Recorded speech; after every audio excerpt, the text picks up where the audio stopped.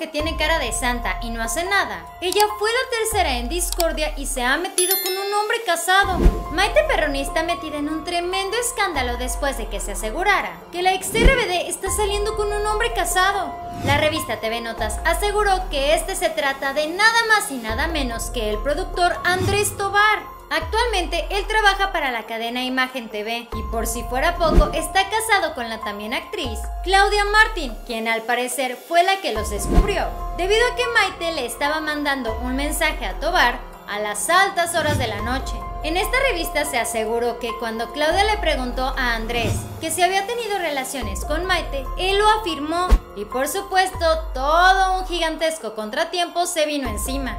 Supuestamente Claudia ya tenía algunos meses viendo a Andrés algo distante. Él le decía que tenía muchísimo trabajo en la empresa televisora, mientras que ella estaba súper ocupada viajando a Sonora grabando para la telenovela Fue Aguardiente. Al parecer, en este lapso de tiempo fue cuando se dio todo el amorío entre Maite Perroni y Andrés. A Clau le pudo muchísimo esta infidelidad, pero al parecer ellos quieren divorciarse pacíficamente. La cosa es que en este triángulo amoroso también está incluido Coco Stambuk, ya que Maite Perroni seguía en una relación con él cuando supuestamente Maite se metió con Tobar. Al parecer ellos todavía eran novios cuando se estaba viendo con el productor. Y de igual manera en la revista se recordó el año 2008, cuando se empezó a decir que Maite Perroni se había metido con William Levy, cuando su esposa Elizabeth ya estaba embarazada. Hace unos días la propia Maite Perroni dio a conocer que su relación de 7 años con Coco había llegado a su fin y aunque tal cual no nos dio el motivo,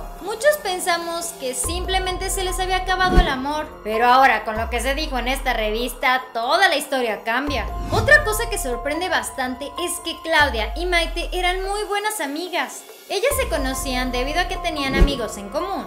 Incluso Claudia le llegó a presentar a Andrés en varias ocasiones, en algunos eventos sociales en los cuales se encontraban.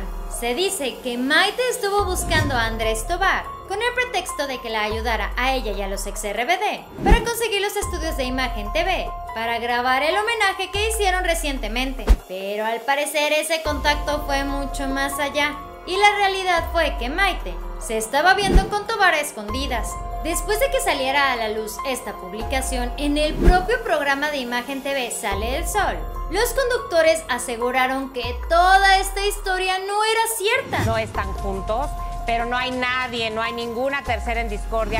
Ellos mencionaron que efectivamente Claudia y Andrés están separados y aunque han visto a Andrés por ahí trabajando, él se encuentra muy triste, que en su carita se le ve que está muy cabizbajo debido a que está viviendo la ruptura en una relación, cosa que a cualquiera de nosotros, claro que nos puede.